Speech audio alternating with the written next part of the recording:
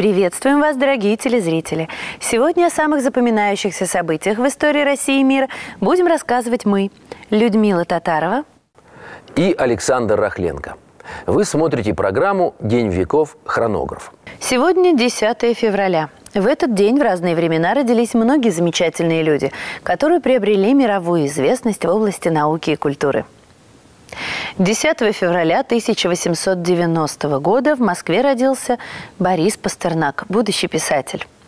С самого детства в доме установилось господство музыки и красок.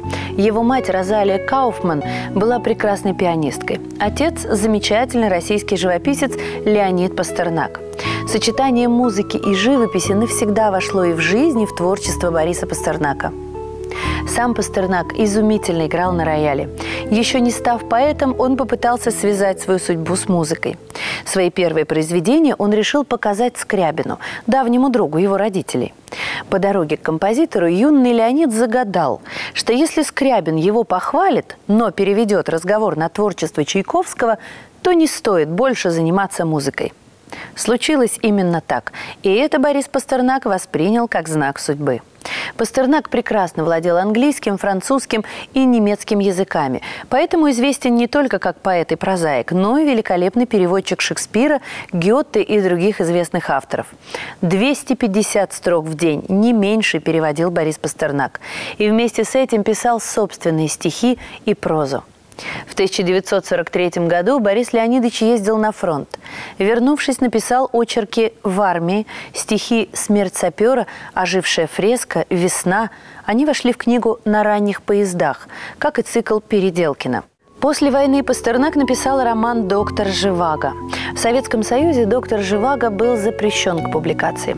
Роман не отвечал требованиям и нормам социалистического реализма. Тайно переправленный на Запад, он был опубликован в Италии.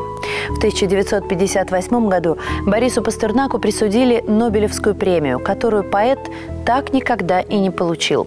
Надо сказать, что формулировка Нобелевского фонда, казалось бы, не несла ничего антисоветского за выдающиеся достижения в современной лирической поэзии и продолжение благородных традиций великой русской прозы. И тем не менее – в тот же день проходит заседание правления Союза писателей СССР, рассматривавшего вопрос о действиях Бориса Пастернака, несовместимых со званием советского писателя. Сам Пастернак на заседании не присутствовал, но из Союза писателей был исключен и отказался от премии. «Я пропал, как зверь в загоне», где-то люди, воля, свет, а за мною шум погони. Мне наружу хода нет. Так описывал Борис Пастернак свою жизнь после издания романа «За границей». В 1959 году вышла последняя книга стихотворений Пастернака «Когда разгуляется».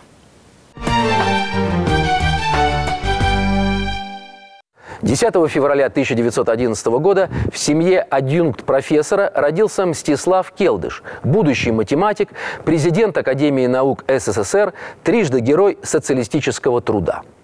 В 1927 году Келдыш окончил школу со строительным уклоном, но его не приняли в строительный институт. Были сложности и с поступлением на математическое отделение МГУ из-за социального происхождения и наличия парижского дяди, ушедшего с Белой армии. Келдыш сумел добиться всего за счет исключительных способностей. Институт он все-таки закончил. В 27 лет стал доктором наук, в 32 – членом-корреспондентом Академии наук, в 35 – академиком. Мстислав Всеволодович успешно вел научные работы по предотвращению разрушения самолетов. Вместе с Королевым и Курчатовым он руководил созданием ракетно-ядерного оружия. В середине 1950-х годов состоялись первые испытания советских водородных бомб, а вскоре прошли и успешные запуски крылатых ракет. В октябре 1957 года был произведен запуск первого искусственного спутника Земли – Келдыш вспоминал. Мы работали самозабвенно, но не задумывались о значении своей работы. И только когда, едва отдышавшись после запуска, мы услышали, как воспринимают этот запуск во всем мире, мы поняли, что начался космический век человечества. В 1961 году, после полета Гагарина, Келдыш стал президентом Академии наук СССР. Как пишут в справочниках, Келдыш внес большой вклад в развитие современной аэродинамики и ракетно-космической техники и сыграл огромную роль в становлении в стране вычислительной техники. 10 февраля 1938 года на свет появился хорошо известный нам автор детективов Георгий Вайнер. Он написал произведения «Я следователь», «Визит к Минотавру», «Лекарство против страха», «Гонки по вертикали». Все они позже были экранизированы. В соавторстве со своим братом Аркадием, тоже литератором, Георгий Вайнер написал роман «Эра милосердия». Позже по этому роману был поставлен один из самых популярных отечественных фильмов «Место встречи изменить нельзя». Всего же на творческом счету Георгия Вайнера, одного из корифеев отечественного детектива, более 20 фильмов и более 150 книг, выпущенных в разных странах мира. Сегодня 10 февраля. Вы смотрите программу «День веков хронограф». В этот день произошли многие интересные события в области культуры и науки. Об одном из них мы расскажем вам. 10 февраля 1937 года был создан Государственный ансамбль танца СССР под руководством Игоря Моисеева – Государственный академический ансамбль народного танца под руководством Игоря Моисеева или ансамбль Моисеева, как все привыкли его называть, знают и любят во всем мире. Мысль о создании ансамбля возникла у артиста и балетмейстера Большого театра Игоря Моисеева после Всесоюзного фестиваля народного танца, состоявшегося в 1936 году. Днем рождения ансамбля принято считать 10 февраля 1937 года, когда в Москве состоялась первая репетиция будущего ансамбля. А уже спустя 12 месяцев ансамбль танцевал на правительственном концерте в Большом театре. Вначале ансамбль назывался «Государственный ансамбль народного танца СССР». С 1991 года Государственный академический ансамбль народного танца. С 1965 года ансамбль стал называться академическим. С 1940-х годов Государственный ансамбль народного танца гастролирует по всему миру.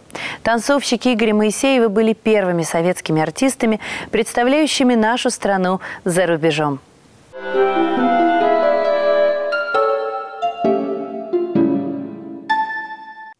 А теперь мы расскажем вам о погоде в этот день в разные годы и века.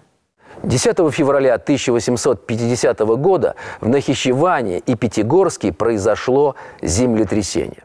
10 февраля 1910 года в Венден в Германии прилетели скворцы.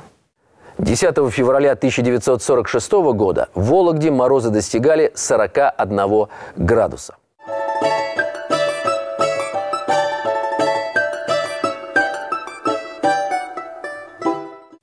Сегодня 10 февраля. Наша программа подходит к концу, и самое время заглянуть в народный календарь. Сегодня день преподобного Ефрема Сирина. На Ефрема ветер подует к сырому году. Ветер на Ефрема понесся, лето, скорее всего, будет сырое и холодное. Ефрем – сверчковый заступник. На Ефрема нельзя убивать дома никаких насекомых. Ни тараканов, ни клопов, ни сверчков. Домовой обидится. В этот день домового задабривают и закармливают. На Ефремов день в старину унимали домового. Для суседушки, так по-другому называли домового, ставили мисочку с молоком, угощали, уговаривали не вредить хозяйству, а помогать. С вами была программа «День веков. Хронограф». И помните, что каждый день – это дата. Каждый день – это имя. Каждый день – это событие.